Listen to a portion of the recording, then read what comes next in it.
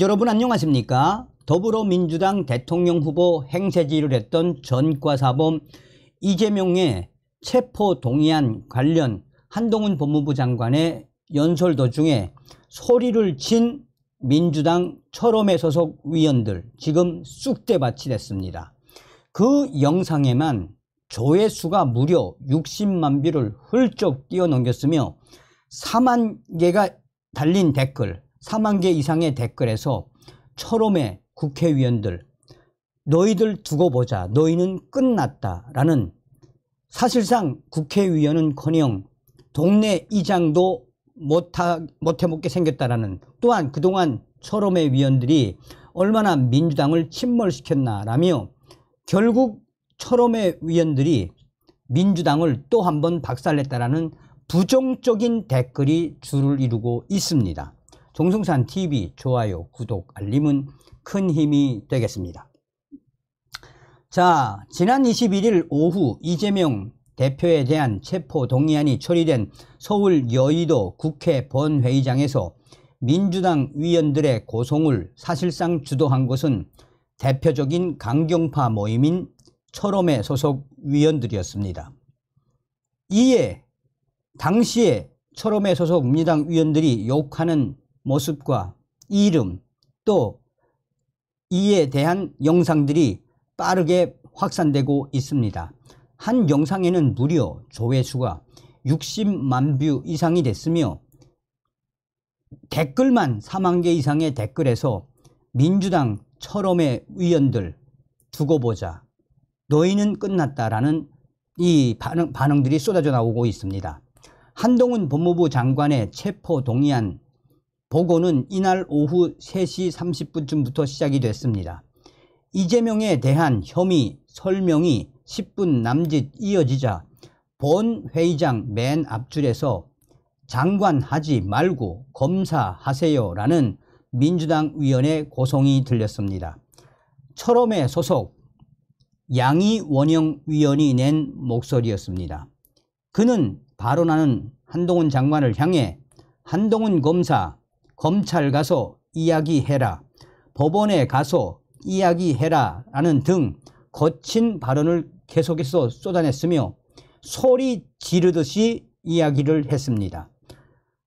한동훈 장관이 쌍방울 불법 대북 송금 사건 관련한 이재명 대표의 혐의를 본격 설명하자 역시 철험의 소속 김남국 위원이 지금 뭐 하는 겁니까? 라고 소리를 고래고래 치며 나섰습니다.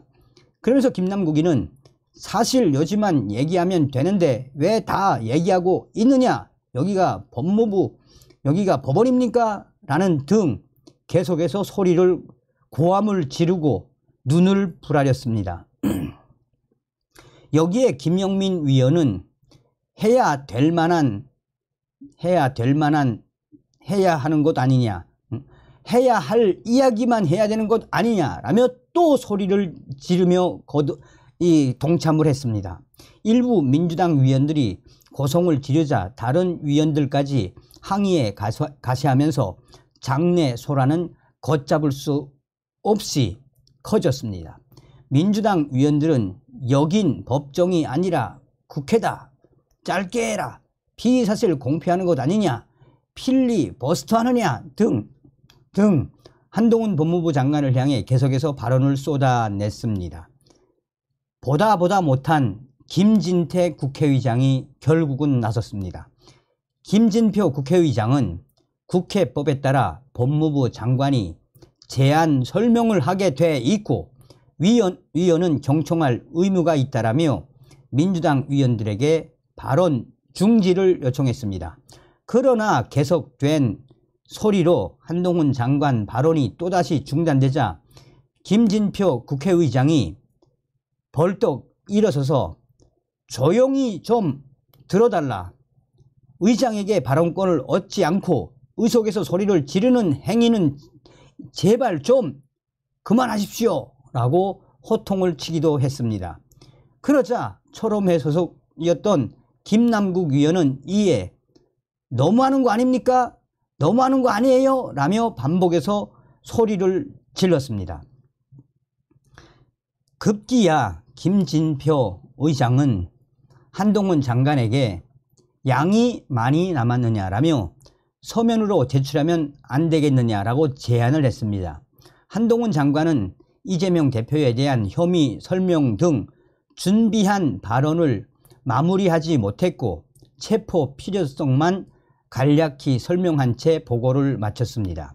한동훈 장관의 30분 남짓 보고 중 발언 중단 시간만 10분을 훌쩍 넘겼습니다. 한동훈 장관이 자리로 돌아온 이후에도 일부 민주당 위원들의 이 돌발 항의는 계속 이어졌으며 이재정 의원은 표결 장소로 이동 중 갑자기 한동훈 장관 옆에 한참 서서 항의하는 모습이 포착되기도 했습니다. 한동훈 장관은 별다른 대꾸 없이 정면만 바라봤습니다. 이재정 의원이 계속해서 한동훈 장관을 향해 말을 이어가자 이영 국민의힘 위원이 다가와 제지에 나섰고 그제서야 표결 장소로 걸음을 옮겼습니다. 한편 민주당 위원들이 한동훈 장관에게 피의사실 공표하지 말라라고 한 것에 대해 법조계에서는 말도 안 되는 주장을 민주당이 하고 있다라며 이 이재명 대표에 대한 체포 동의안 처리 과정 과정을 지켜봤다는 한 법조인은 구속영장이 청구되고 체포 동의안이 국회에 상정되면 범죄 사실에 대해 설명하는 것이 정해진 절차이고 과거 법무부 장관들도 다 했던 것이라고 했습니다.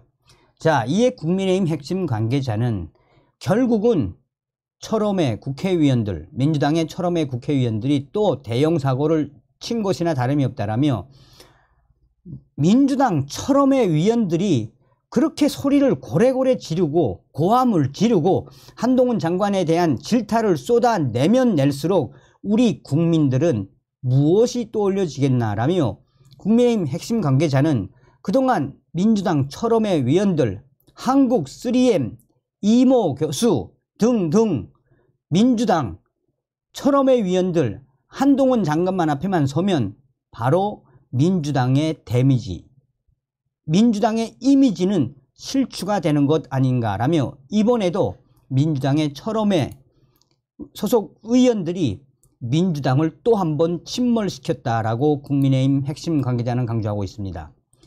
이 영상은 지금 현재 유튜브를 통해서도 빠르게 확산이 되고 있습니다. 이 영상을 편집을 해서 올린 이 유튜브 하루도 안 돼 조회수만 무려 60만 뷰 이상이 기록이 됐으며 댓글만 해도 4,700개 이상의 댓글이 달렸습니다.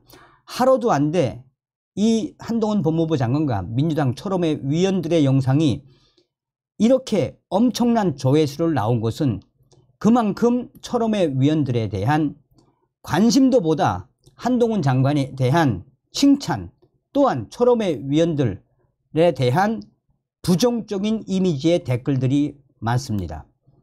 댓글들에는 대부분 한동훈 잡으려다 또 민주당 잡은 철험의 국회의원들 김남구. 최강욱은 없으니까 최강욱은 빠졌고 여기에 철험의 양희원영 위원 등 당신들이 그렇게 소리를 지르고 당신들이 그렇게 한동훈 법무부 장관을 잡겠다고 난리를 치면 칠수록 당신들은 내년도 국회의원은커녕 동네 이장도 못할 것이라며 한마디로 4만 7천 개 이상의 댓글에서 대부분 다 더불어민주당 철험의 위원들을 질타하는 항의성 댓글이 뒤를 잇고 있다라고 전하고 있습니다.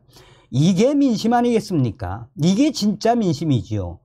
얼마나 철험의 위원들, 응? 김남국 같은 자, 얼마나 한심스러우면 그 한동훈 법무부 장관에 대한 어, 어떻게 하든 데미지를 입히기 위한 그 발언들이 얼마나 저질스러웠습니까? 그러니 국민의힘 핵심 관계자도 한동훈 법무부 장관만 나오면 민주당 지랄 발광을 하는 그 본질이 무엇이겠습니까? 오늘도 또 철호매가 민주당을 침몰시키는데 큰 역할을 했다라는 소식이 되겠습니다. 다음 시간에 뵙겠습니다. 멸공.